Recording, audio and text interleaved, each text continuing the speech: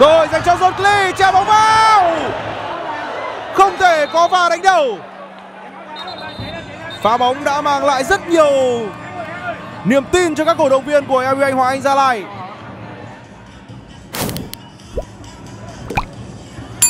Và cưa bóng lên rất nhanh là của Châu Ngọc Quang. Mở bóng hợp lý sang bên phía cánh phải. Vẫn là cao thủ LU Anh Hoàng Anh Gia Lai. Rất tiếc cho quả tạt vừa rồi. Chúng ta cũng không thấy John Klee băng vào. Thì sẽ là rất khó, quả tạt là của Đình Lâm. Pha xử lý vừa rồi là của số 12 bên phía câu lạc bộ Quảng Nam. Và đây là cơ hội phản công dành cho các cầu thủ LB Banh Hoàng Anh Gia Lai. Pha can thiệp rất nhanh của trung vệ Steven Eze. Và pha bóng này đã khiến cho John Klee bị đau.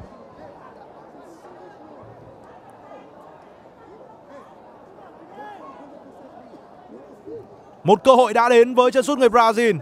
Và anh phải hứng chịu một tình huống vào bóng rất rắn của Stephen Eze.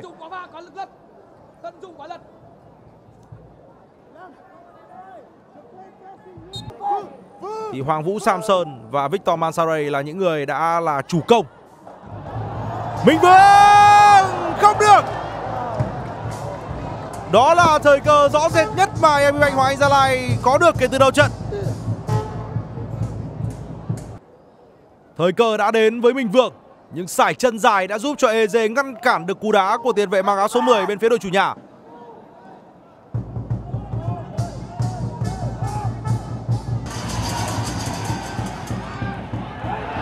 Goal!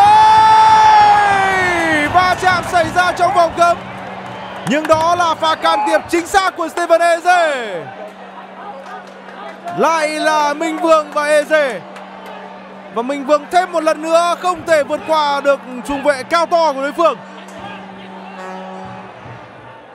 Đây cũng là một pha bóng khá nhạy cảm. Thực sự là sải chân đáng ngại của Steven Eze Sải chân rất dài, can thiệp rất chuẩn. Không có gì phải tranh cãi cả. Hai pha can thiệp liên tiếp của Steven Eze đã ngăn cản những cơ hội dứt điểm. Trên sân Hà Tĩnh thì đội chủ nhà sẽ tiếp đón câu lạc bộ Khánh Hòa. Sông Lam Nghệ An sẽ tiếp đón Công an Hà Nội. Chính xác là ngày hôm nay có 5 trận đấu Đông Á Thanh Hóa tiếp đón Hải Phòng và trên sân hàng đẫy thì BKMX Bình Dương sẽ làm khách trên sân của Thể công Viettel. Và tất cả những diễn biến của vòng đấu này cũng như là của Night World V-League 1 2023 2024 sẽ được FPT Play gửi đến quý vị và các bạn trên các nền tảng của chúng tôi. Pierre Lamot theo các trang chuyển nhượng quốc tế thì vẫn đang thi đấu theo diện cho mượn của các câu lạc bộ Việt Nam với đội bóng Pacific của Canada.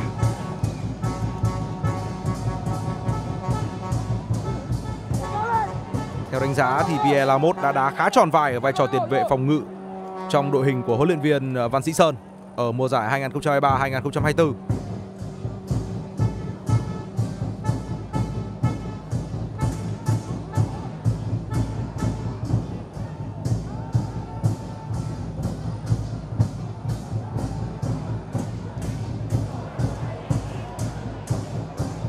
Đây là trận đấu mà LB Bank Hoàng Anh Gia Lai thiếu vắng một cái tên rất quan trọng trong đội hình xuất phát, Đó chính là Tuấn Anh.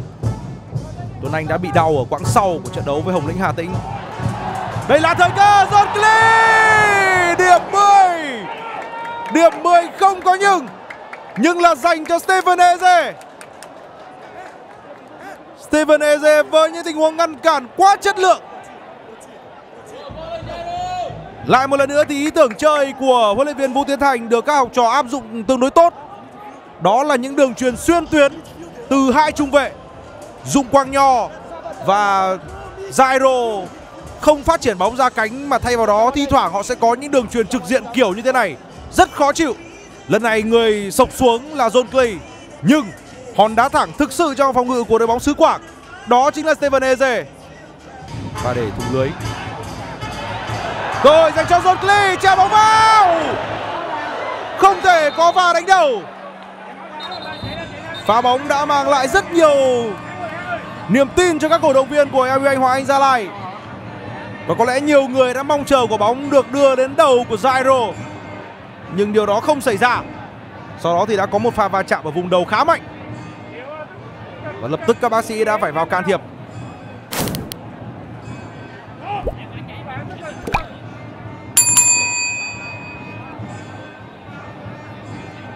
Đang là một khuôn mặt với nhiều ưu tư của chủ tịch đoàn Nguyên Đức.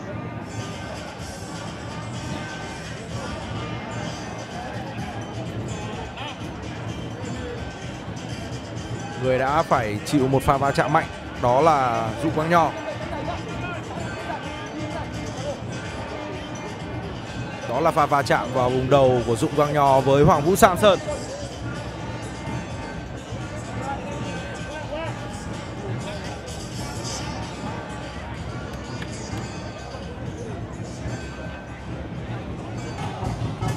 Minh Vương!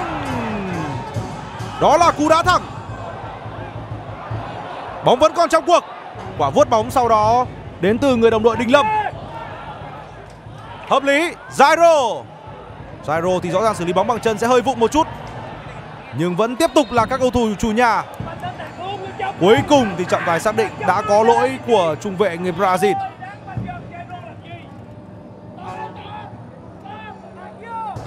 Quang Nho. Đường chuyền khá hay Sẽ có một quả phạt góc dành cho LB Banh Hoàng Anh Gia Lai. Đường truyền đã nhận được sự tán thưởng đến từ trung vệ Zairo Bởi vì cơ bản thì đó sẽ là một đường truyền rất vừa vặn. Nếu như bóng tới được với vị trí của trung vệ người Brazil. Quả rót bóng với điểm rơi tốt và lại một lần nữa người can thiệp là Stephen Eze. Lại là một quyết định đá sệt không hiệu quả. Chốt anh, chốt anh.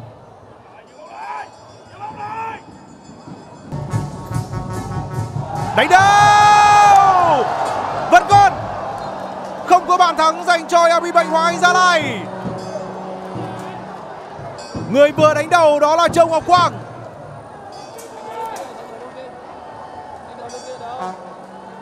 đã có những phản ứng về quyết định của trọng tài khi cho LB Banh Hoàng Gia Lai được ừ, hưởng quả phạt góc. Một tình huống phòng ngự hớ hênh của cao thủ Quảng Nam. Họ đã không kèm Châu Ngọc Quang. Quá chủ quan.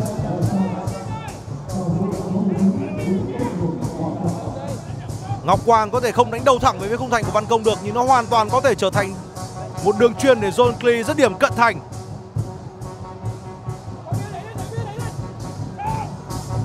Quốc Việt đã được tung vào sân. Đó là sự tăng cường cho mặt trận tấn công của huấn luyện viên Vũ Tiến Thành.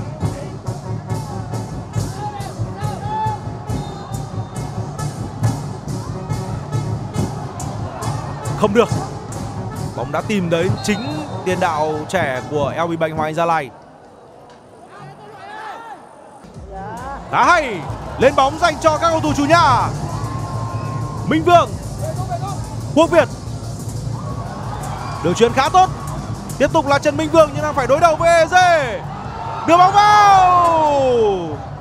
Một tình huống tinh quái của Minh Vương. Anh biết mình phải đối đầu với một người cao to Có lẽ là phải gấp đôi mình, gấp ba mình. Nhưng lựa chọn thời điểm căng ngang và hợp lý. Và đội tuyển U23 dự vòng chung kết U23 châu Á. Và đây sẽ là thời cơ dành cho LB bành Hoàng Anh ra lại. Châu Ngọc Quang. Cơ hội đây rồi đồng đội tiếp ứng. Không có ai lên kịp thời cho Minh Vương truyền cả. Minh Vương có lẽ là chỉ chờ đồng đội lên thôi. Phan Thanh Hậu. Cả hai đội đều đã có những nuối tiếc. Tình huống bóng vẫn tiếp tục. Nguy hiểm. Jairo cuối cùng đã giải quyết được tình hình. Trên sân thì lúc này bên phía đội chủ nhà có một cầu thủ bị đau. Nhưng đó là đường chuyền sai. Rồi bàn phản công dành cho cao thủ Elvin Banh Hoàng Gia Lai Minh Vương! Minh Vương đã bị phạm lỗi rồi! Một tình huống mà cầu thủ Quảng Nam đã phải làm tất cả những gì có thể để giữ Minh Vương không tiến được. Không thể thoát đi, Đó là pha phạm lỗi của Ngọc Hiệp. Kéo áo, Giữ người. Và độ bền của chiếc áo của câu lạc bộ Anh Hoàng Gia Lai đã được thử. Xem chất lượng thế nào. Đây sẽ là pha bóng có lẽ là cũng sẽ khép lại trận đấu ngày hôm nay. Một quả đá phạt dành cho đội bóng chủ sân Pleiku.